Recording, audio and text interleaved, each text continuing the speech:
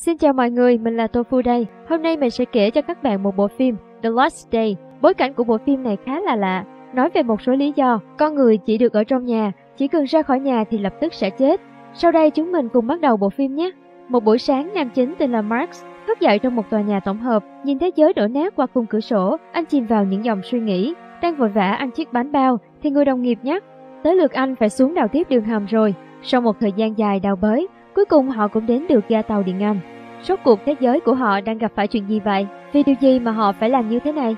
Mọi chuyện xảy ra từ rất lâu về trước. Max là một nhân viên kỹ sư máy tính bình thường.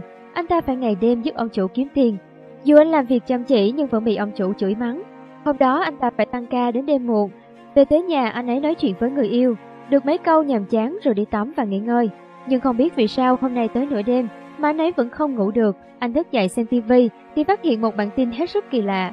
Một cậu thanh niên ở trong nhà 6 tháng tự sát. Mọi người bắt đầu xôn xao bàn tán về nguyên nhân cái chết của cậu thiếu niên này. Có người nói có thể cậu ta nghiện chơi game, nên dẫn đến tinh thần không ổn định và bỏ mặt bản thân. Nhưng Mars cảm thấy có điều gì không ổn. Ngày hôm sau anh ấy đi làm phát hiện một người đàn ông có những biểu hiện kỳ lạ. Vì tò mò nên anh ấy đã theo dõi ông ta. Kết quả anh ấy phát hiện đã mấy tháng rồi, ông ta bí mật sống trong tòa nhà và không rời đi. Ông ấy còn nói không phải không muốn rời khỏi tòa nhà, mà vì không thể rời đi được, Max bắt đầu nghi ngờ đầu óc ông ấy có vấn đề, vì vậy anh ta không để ý nữa. Nhưng không ngờ chuyện ông ta ngủ lại công ty lại nhanh chóng bị giám đốc phát hiện. Giám đốc lập tức cho bảo vệ lôi ông ấy ra khỏi tòa nhà, nhưng ông ta nhất định không chịu ra ngoài.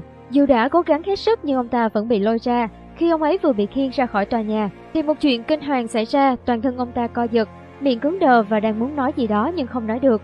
Max nhìn thấy liền yêu cầu bảo vệ khiêng ông ta vào trong, nhưng khi đưa ông ấy vào trong thì cũng đã quá muộn, ông ta chết rồi. Chuyện này làm mars càng hoài nghi trong lòng nhiều hơn. Buổi tối anh ấy không ngủ được, anh nghĩ sắp có điều gì khủng khiếp diễn ra. Sáng hôm sau, bản tin đang thông báo rộng rãi, càng ngày càng có nhiều người không thể ra ngoài, kể cả người phụ nữ sắp sinh cũng phải ở nhà tự sinh. Sau khi xem xong bản tin, mars thở dài. Từ khi nào anh cảm thấy quan tâm những tin như thế này? Anh nói thế giới sắp bị hủy hoại rồi. Nghe thấy câu nói này của anh, Julia, người yêu anh bỗng dưng tức giận. Cô ấy nghĩ bao lâu nay giờ nấy không muốn sinh con, không phải vì lý do công việc, mà là vì anh sợ trẻ con. Sau một hồi tranh cãi với Max, cô nhanh chóng trở về phòng và khóa cửa lại. Max ở ngoài làm mọi cách xin lỗi, nhưng cô không quan tâm. Dù thế giới đang bị hủy hoại thì anh ấy vẫn phải đi làm. Max lấy đồ đạc cá nhân rồi nhanh chóng đến công ty. Các đồng nghiệp ở công ty đang cùng nhau xem tin tức và cùng nhau bàn luận. Chuyên gia nói rằng không lâu nữa núi lửa sẽ dâng trào, có thể sẽ xuất hiện một số loại virus. Vì vậy, những người chết không có lý do này có thể liên quan tới các loại virus đó. Max đến công ty nhưng trong lòng vẫn lo cho Julia ở nhà. Nhưng bạn của cô ấy nghe máy nói, hiện tại cô ấy không muốn nói chuyện với Max. Vì quá lo lắng nên Max muốn nhanh chóng trở về nhà. Anh không quan tâm tới con virus gì đó nữa. Nhưng anh vừa mới bước chân ra ngoài, đột nhiên cảm thấy toàn thân choáng váng, không còn sức lực. Anh ấy ngã xuống rồi nhanh chân quay lại phía trong. May mắn anh ấy vẫn giữ được mạng sống. Vì không thể bước ra khỏi tòa nhà, nên tất cả mọi người ở đây phải tìm một lối đi khác. Đây cũng chính là tình tiết nối liền với cảnh đầu bộ phim. Mọi người phải dựa vào số lương thực và một chút nước ít ỏi của tòa nhà để duy trì sự sống. Bọn họ đã cùng nhau sống ở đây mấy tháng rồi. Thời gian này họ phải liên tục đào hầm, hy vọng có thể dùng đường hầm để thoát khỏi đây. Anh ấy phát hiện trong chiếc áo của Enric có GPS. Max biết nếu muốn tìm được con đường chính xác, từ đường hầm công ty về nhà của anh thì không hề dễ dàng. Anh ấy lôi tất cả các đồ đạc còn lại trên người ra và muốn hợp tác với Enric. Hai người đồng ý thỏa thuận bắt đầu cùng nhau xuất phát. Trong đường hầm tăm tối xuất hiện nhiều loại người, nhưng khi đến được trạm tàu điện ngầm, thì bị một thằng bé cướp mất chiếc túi. Hai người rượt đuổi theo nhưng lại bị đồng bọn của thằng bé bắt lại. Đúng lúc đó cả thành phố bỗng dưng mất điện. Lợi dụng cơ hội này, Enric nhanh chóng cướp được súng của bọn chúng. Hai người hợp sức giết chết được bọn cướp, sau đó nhanh chóng trốn thoát. Họ không những lấy lại được GPS mà còn lấy được súng. Họ tiếp tục trèo lên vào được đường nước nhà Max. Họ dùng súng cho phát nổ đường hầm, tạo thành một lỗ hổng lớn. Lỗ hổng này dẫn lên phía phòng của nhà Max.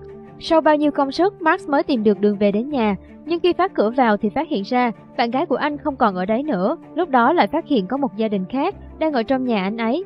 Họ nói với Max rằng họ thấy nhà của anh không có ai ở nên họ mới chuyển đến đó. Khi họ giải thích xong thì Max mới hạ súng xuống. Nhưng cơ hội này, Ingrid nhanh chóng vào lục đồ trong phòng, nhặt lại những hạt giống còn trong nhà bếp. Ở bên kia phòng, Max vô tình phát hiện một bức tranh trên bàn. Nhưng không ngờ đằng sau bức ảnh là giấy khám thai của Julia. Anh nghĩ có lẽ đây chính là nguyên nhân. Ngày hôm đó Julia tức giận.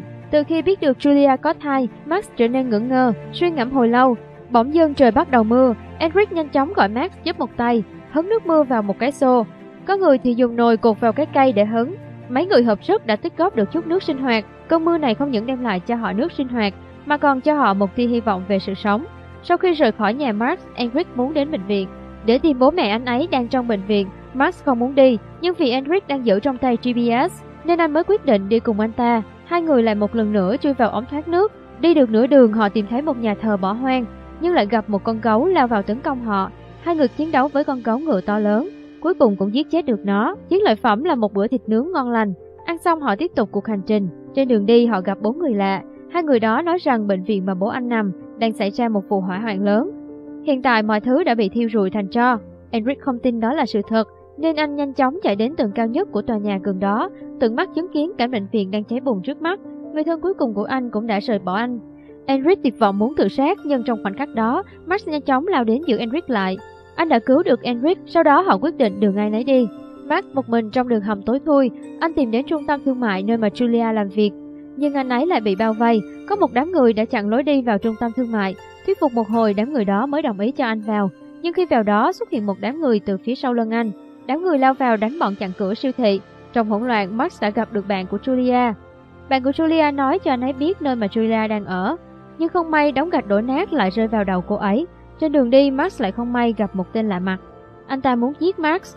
Nhưng cũng may Enric xuất hiện kịp thời cứu anh ấy. Hai người họ lại bắt đầu tìm đường đến nơi ở của Julia. Đến được một tòa nhà cao tầng, anh nhìn thấy Julia ngồi ở cửa sổ của tòa nhà đối diện. Lúc đó Julia đã mang một bầu khá to. Hai người vui mừng gào thét. Một bên là người yêu, một bên là Enric đang nguy kịch. Vì Enric vừa cứu anh mà bị thương. Máu của Enric đang chảy không ngừng. Enric sau khi nói vài câu, anh ấy đã trút hơi thở cuối cùng. Max rất đau lòng. Vì sự thôi thúc của tình yêu và cũng vì sự hy sinh của Enric, Max đã quyết định băng qua con đường đến thẳng tòa nhà của Julia. Mặc dù khoảng cách con đường chỉ có hơn 10 mét, nhưng đối với Max mà nói nó rất khó khăn. Sau đó Max đã ngất đi sau một hồi choáng váng, nhưng sau khi tỉnh lại bạn gái Julia đã xuất hiện trước mắt anh ấy. Anh cuối cùng cũng đã ở trong tòa nhà đối diện. Không lâu sau Julia đã sinh con, nhưng điều kỳ lạ là đứa bé không hề sợ ra ngoài ánh sáng.